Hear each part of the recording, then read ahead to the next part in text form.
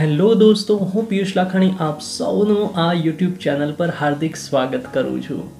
તો આ સ્ટોરીને આગળ વધારીએ તે પહેલાં લાસ્ટ લેક્ચરની જો વાત કરીએ તો એમાં એવું થયેલું હતું કે નાનાનો પૌત્ર એ વાત કરે છે કે અમે અમારા નાનાને અંતિમ સંસ્કાર વિધિમાં ન લઈ ગયા તે અમારી ભૂલ હતી. નાના નાનીને કહે છે કે હું પણ માર્ગમાં જ છું, તને હું ટૂંક સમયની અંદર પરલોકમાં મળીશ. અને ત્યારબાદ તેમનો પૌત્ર જ્યારે નનામીને પોતાના ખભે ઉચકે છે અને એકવાર જોવા માટે પાછળ ફરે છે, તો જુએ છે કે નાના પોતાના રૂમની અંદર બાલ્કનીમાંથી પ્રવેશે છે અને દરવાજો બંધ કરી લે છે.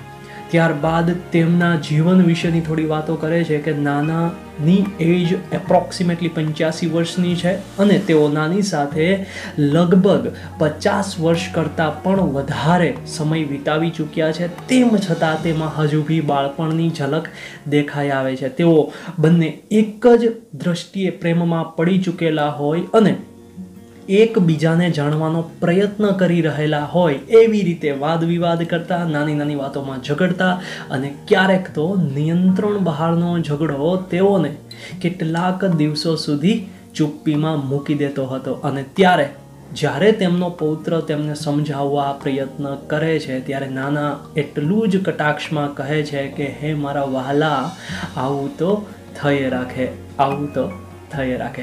તો ત્યારબાદ હવે આગળ. It was fun listening him to talk તેઓને વાતચીત કરતા સાંભળવા એ એક આનંદની વાત હતી. તેઓને મતલબ નાનાને. મધર ઓલવેઝ રિપ્રિમાન્ડ અસ અને અમારા મમ્મી અમને હંમેશા રિપ્રિમાન્ડ ઠપકો આપતા હતા. યુ પીપલ પ્રવોક હિમ તમે લોકોએ જ તેમને ચઢાવ્યા છે. મતલબ કે નાનાને તમે લોકોએ જ ચઢાવ્યા છે. And my mother has to be a the brunt અને મારા મમ્મીએ તેમના આ બ્રન્ટ તેમના આ આંચકાઓ છે એ સહન કરવા પડે છે. હર મધર અને તેણીના મમ્મી દેટ મીન્સ અવર નાની, એટલે કે અમારા નાની. તો લેખક એવું કહે છે કે મારા મમ્મી અમને ઠપકો આપતા એવું કહેતા હતા કે તમે લોકોએ જ નાનાને ચડાવ્યા છે. થોડી થોડી વાતમાં તમે નાના પાસે ચાલ્યા જાઓ અને એમને મનાવવા લાગો. દેટ મીન્સ કે એને વધારે ને વધારે ચઢાવો થાય છે, એને વધારે પ્રોત્સાહન મળે છે.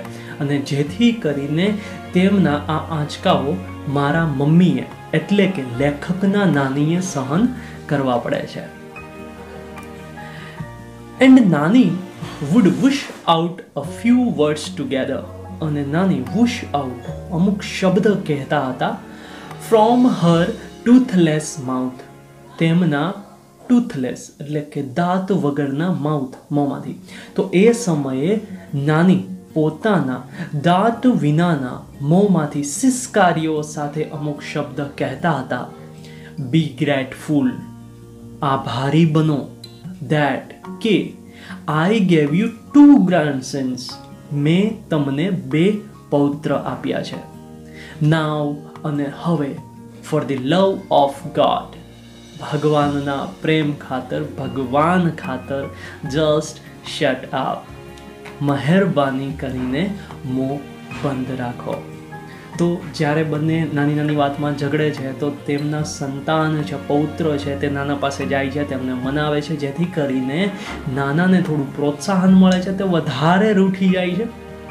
જેમનું આ વર્તન છે, એ સહન કરવું પડે છે એમના નાનીને. અને આ વાત લઈને લેખકના મમ્મી છે, એ લેખકને થોડો ઠપકો આપે છે. અને એટ ધી લાસ્ટ પોઈન્ટ, નાની તેમના હસબન્ડ એટલે કે નાનાને એવું કહે છે કે તમે છે ને આભાર માનો માનો બિકોઝ મેં તમને બે ગ્રાન્ડસન્સ બે પૌત્ર આપ્યા છે અને હવે ભગવાન ખાતર બંધ થઈ જાઓ સિર્ફ शब्दों से ना करना किसी के वजूद की पहचान हर कोई उतना नहीं कह पाता जितना वो समझता है जितना वो महसूस कर पाता है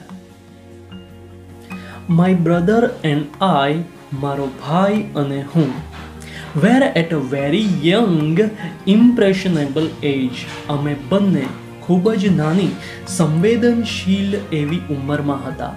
વેન કે જ્યારે અવર ફાધર અમારા પિતાજીએ મેરીડ અ સેકન્ડ ટાઈમ બીજી વાર લગ્ન કર્યા. તો હું અને મારો ભાઈ બંને ખૂબ જ નાની, સંવેદનશીલ એવી ઉંમરમાં હતા કે જ્યારે અમારા પિતાએ બીજી વાર લગ્ન કર્યા. He would often arrogantly parade in to the house often વારંવાર એરોગેન્ટલી એટલે થોડું તોછડાઈપૂર્વકનું. પરેડ પ્રવેશવું તો તેઓ હંમેશા તોછડાઈપૂર્વક અથવા તો વટભેર ઘરમાં પ્રવેશતા હતા. વિથ હિઝ ન્યૂ વાઇફ તેમની નવી પત્ની સાથે. મધર વોઝ હેલ્પલેસ અને એ સમયે અમારા માતા, અમારા મમ્મી એ હેલ્પલેસ હતા, લાચાર હતા. There was nothing she could do about it અને તે બાબતે અમારા મમ્મી કશું પણ કરી શકે તેમ ન હતા. બટ પરંતુ નાની ફોટ વિથ હર પરંતુ નાની તેણીની સાથે લડતા, તેણીની સાથે મતલબ તેમની નવી પત્ની સાથે લડતા. And scoop the two of us અને અમને બંનેને સ્કૂપ કરી લેતા, મતલબ તેડી લેતા હતા. ઇન્ટુ હ આર્મ તેણીના હાથમાં. એન્ડ અને બ્રોટર્સ ઇન્ટુ હર હાઉસ અને અમને તેણીના ઘર લઈ જતા હતા. સેઇંગ અને એવું કહેતા હતા you want to rot here do so જો તમે અહીં રોટ સડવું, જો તમે અહીં સડવા ઈચ્છો છો ડુ સો તો પછી તમે એવું કરી શકો છો. બટ પરંતુ I am not letting my grandchildren stay here to get thrashed by the step mother પરંતુ હું મારા પૌત્રને અહીં રહેવા નહીં દઉં. શા માટે? ટુ ગેટ થ્રેસ્ટ કુચડાઈ જવા માટે. બાય દે સ્ટેપ મધર તેમની સાવકી માતા દ્વારા.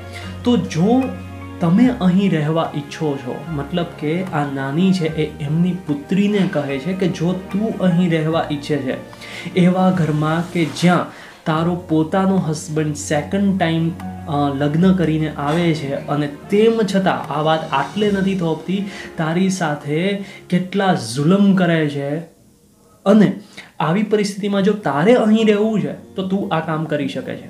પરંતુ હું મારા બે પૌત્રને અહીં કદાપી રહેવા નહીં દઉં. શા માટે? Because thrashed by the step mother તેમની જે સાવકી માતા છે, એ એમને થ્રેશ કરે છે, મારે છે, પીટે છે. તો આવી કન્ડિશનમાં હું એમને અહીં રહેવા ન દઈ શકું. If anyone got her way with નાના જો નાના પાસેથી કોઈ કામ કઢાવી શકતું હોય, તો ઇટ વોઝ નાની. તે માત્ર એક જ વ્યક્તિ હતા, નાની. She would tell it to his face તેઓ તેમના મોં પર સામે સામું કહી દેતા હતા you will regret it the day તમને એ દિવસે રિગ્રેટ થશે, ઘણો અફસોસ થશે. આઈ ડાય જ્યારે હું મૃત્યુ પામીશ. તો તમને એ દિવસે ખૂબ જ અફસોસ થશે કે જે દિવસે હું મૃત્યુ પામીશ. You don't speak with the mother of this two children તમે આ બે પુત્રની માતા સાથે વાતચીત નથી કરતા. તમે તમારી પોતાની પુત્રી સાથે નથી બોલતા. એને સાવ છોડી જ દીધી છે તમે. They are also not going to talk to you તો આવી કન્ડિશનમાં આ પુત્ર પણ તમારી સાથે એક દિવસ બોલવાના નથી. You will sit by all yourself તમારે તમારી જાતે જ બેસવાનું છે. ઇન ધી બાલ્કની એક બાલ્કનીમાં and bath in the sun અને સૂર્યપ્રકાશનો શેક લેવાનો છે. એન્ડ યોર ઓવન લોનલીનેસ અને એ સમયે માત્ર તમારી એક એકલતા જ હશે. તો આ પેરેગ્રાફમાં એવું કહે છે કે તમને એક દિવસ ખૂબ જ અફસોસ થશે. તમે તમારી પુત્રી સાથે નથી બોલતા, એના લગ્ન થઈ ચૂક્યા છે. ત્યાં થોડો જુલમ થાય છે. તો ડેફિનેટલી તમારું એક કર્તવ્ય છે, તમે કંઈ બોલો, તમે ઠપકો આપો અથવા તો યોગ્ય પગલાં ભરો. બટ તમે એવું કંઈ કરતા નથી. ઇવન તમે તેમની સાથે બોલતા પણ નથી.